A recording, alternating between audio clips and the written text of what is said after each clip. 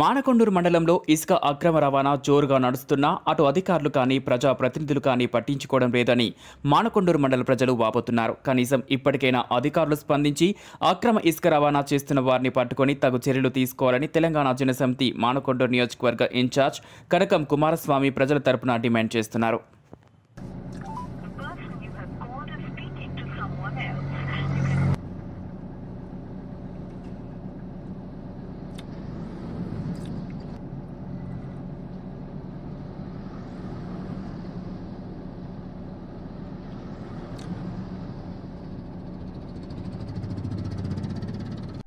మిత్రులారా నమస్తే.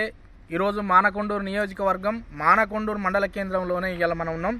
మిత్రులారా గత కొన్ని రోజులుగా మానకొండూరు మండలంలో విచ్చలవిడిగా ఇసుక అక్రమ రవాణా జరుగుతుందని పలు పార్టీలకు చెందినటువంటి నాయకులు స్వయానా కొన్ని గ్రామాల ప్రజలు అక్కడికి వెళ్ళి పోలీస్ స్టేషన్ అయితేంది ఎంఆర్ఓ ఆఫీస్ అయితే అయింది దీనికి సంబంధించిన ఈడీ గారికి అయితే ఫిర్యాదు చేస్తే ఇప్పటి వరకు కూడా ఎటువంటి చర్యలు తీసుకోకపోగా ఇసుక రవాణా చేసే అటువంటి ఇసుక సురులకు ప్రత్యక్షంగా పరోక్షంగా పాల్గొంటున్నారు. వాళ్ళకి సహాయ సహకారాలు అందిస్తున్నారు అని చెప్పి ఇక్కడ నియోజకవర్గంలో ఉన్నటువంటి ప్రజలు తీవ్ర ఆవేదనతో నిన్న కూడా కొన్ని జగపల్లి గ్రామానికి చెందినటువంటి ప్రజలు స్వచ్ఛందంగా వెళ్ళి మూరబెట్టుకోవడం జరిగింది. ఆ త- ఆ ప్రాంతంలో పోలీస్ స్టేషన్ అయితే ఎంఆర్ఓ గారికి అయితే ఇలా మేము ప్రతి విషయంలో కూడా ప్రతి సందర్భంలో కూడా మేము ఒక విషయం మేము స్పష్టంగా చెప్తున్నాం.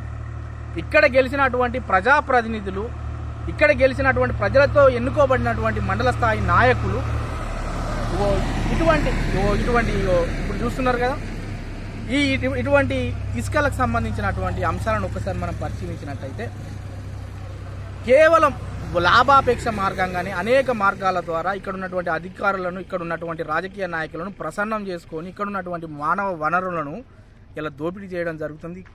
కరీంనగర్ నుంచి హైదరాబాద్కు తరలించి అనేక రకాలైనటువంటి మార్గాల ద్వారా కొన్ని లక్షల కోట్ల రూపాయలు ఎలా ఆర్జిస్తారన్న దానికి నిదర్శనం ఇదే. ఒక పర్మిషన్ చెప్పి ఐదు బండ్లు ఎలా సరఫరా చేసేటువంటి పరిస్థితి ఉంటుంది. ఇక్కడ ఉన్నటువంటి మండలం ఉన్నటువంటి ప్రజల చేత ఎన్నుకోబడ్డటువంటి జెడ్పీటీసీ గారి మీద అనేకమైనటువంటి అనుమానాలు వ్యక్తం చేస్తున్నారు మండలం ఉన్నటువంటి ప్రజలు. దాంతో పోల్చుకుంటే దాన్ని అదే విధంగా తీసుకున్నట్టయితే ఇక్కడ ఉన్నటువంటి నియోజకవర్గానికి సంబంధించి సంబంధించినటువంటి ఎమ్మెల్యే రసమై బాలకిషన్ గారు ప్రమేయం లేని ఇక్కడ మాకు ఇటువంటి కార్యక్రమాలు జరిగాయి. ఎందుకంటే ఇక్కడ ఆయన ఉన్నటువంటి ఈ ప్రాంతంలో ఆయన సహకారం లేని ఖచ్చితంగా ఇటువంటి అక్రమ రవాణా జరగదని చెప్పి ఇలా ప్రజలు ముక్తఖండంతో చెప్తున్నటువంటి వాదన. మేము కొన్ని రోజులుగా మేము చూస్తున్నాం అనేక రకాల గ్రామాల ప్రజలు అనేక రకాల పార్టీల ప్రజ పార్టీలకు సంబంధించిన కార్యకర్తలు. మండల కేంద్రంలోకి వచ్చి ఇక్కడ ఉన్నటువంటి ఎంఆర్ఓ గారికి అయితే దానికి సంబంధించిన ఈడీ గారికి అయితే అనేక రకాల వినతి పత్రాలతో సహా వారి గోడు వెలివించుకుంటే ఏ ఒక్క రోజు కూడా ఇక్కడ వచ్చి ఇక్కడ ఉన్నటువంటి వెహికల్ని చెక్ చేసినటువంటి పరిస్థితి లేదు. ఒకసారి మీరు కొంచెం ముంగటి పోతే మాకు కనబడితే మీకు వీడియోలు కూడా మేము పెడతాం. శ్రీనివాస నగర్ అనే ఒకటి కాలనీ ఉంటుంది శ్రీనివాస నగర్ అనే ఒక ఊరు ఉంటుంది. మేము వచ్చినటువంటి ఐదు నిమిషాల్లో మినిమం ఒక యాభై ట్రాక్టర్లు. ఎట్లా అంటే ఆ శబ్దము ఎట్లా అంటే అక్కడ ఉన్నటువంటి ఆ డ్రైవింగ్ చేసేటువంటి విధానం కూడా మనం పరిశీలించినట్టయింది. ఎక్కువరికి కూడా దరిదాపుగా అసలు సరైనటువంటి ఏజ్ లేదు మైనర్ పిల్లలు నడుపుతున్నారు. చిన్న చిన్న పిల్లలు మేము ఇప్పుడు చూపిస్తాం శ్రీనివాస నగర్ చెందినటువంటి ప్రజలు చిన్న పిల్లలు కూడా రోడ్ల మీద ఆడుకుంటున్నారు. ఈ దుబ్బతో కూడినటువంటి శబ్దంతో కూడినటువంటి వాతావరణాన్ని చూస్తే రోజు వాళ్ళకి యుద్ధమే చేస్తున్నటువంటి పరిస్థితి ఇలా తలపిస్తుంది. ఇలా మేము ఇక్కడ ఉన్నటువంటి ఇక్కడ పాలిస్తున్నటువంటి ఈ నియోజకవర్గానికి సంబంధించినటువంటి ఎమ్మెల్యేలు మేము ప్రత్యక్షంగా అడుగుతున్నాం. మీకు తెలియకుంటేనే ఈస్క ఇసుక సామ్రాజ్యం ఎట్లా నడుస్తుంది? మీకు తెలియకుంటేనే ఇటువంటి దొంగ కార్యక్రమాలు లఫాంగి లఫూట్ కార్యక్రమాలు ఎట్లా జరుగుతున్నాయి? ఇలా మేము అడుగుతున్నాం. ప్రజలు అదే అనుమానం వ్యక్తం చేస్తున్నారు. మరొకసారి మేము విజ్ఞప్తి చేస్తున్నాం. ఇటువంటి కార్యక్రమాలు ఖచ్చితంగా మీకు జరిగితే రాబో కాలంలో ఈ గ్రామాలను ఖచ్చితంగా పెద్ద ఎత్తున కలిసొచ్చే పార్టీలతో పర్యటిస్తాం. బాధితుల పక్షాన ఆ బాధితులకు అండగా ఉంటాం.